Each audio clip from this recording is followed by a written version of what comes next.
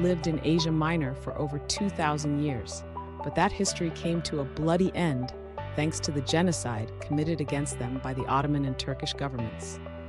Alongside the Armenians and Assyrians, the Greeks of the Ottoman Empire faced a wave of deportation, dehumanization, and destruction during and after the First World War, which are remembered as some of the bloodiest genocides of the 20th century.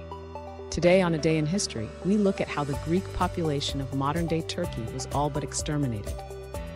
This is the third part of our series looking at Ottoman genocides.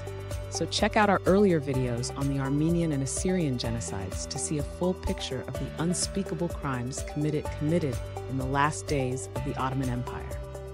Sparks of a genocide. The Greek, Armenian, and Assyrian genocides were similar in many ways, but the defining feature of their victims was obvious Christianity. These three minorities represented the vast majority of Christians who lived under the Muslim Ottoman Empire.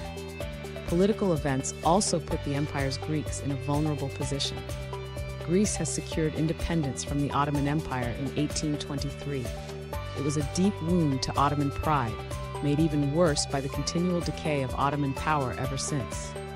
As resentment against the new Greek nation simmered, it filtered down and fell upon the Greek minority too. The sparks of genocide began smoldering as early as 1908 with the Young Turk Revolution. The Young Turks were a hyper nationalist faction who believed in an ethnically Turkish Muslim empire. Their policy of Turkification left no room for non Turks or non Muslims, and soon every ethnic minority in the empire was in their crosshairs. In these last years of Ottoman power in Europe, Ottoman authorities harassed ethnic Greeks to encourage them to relocate to Greece itself.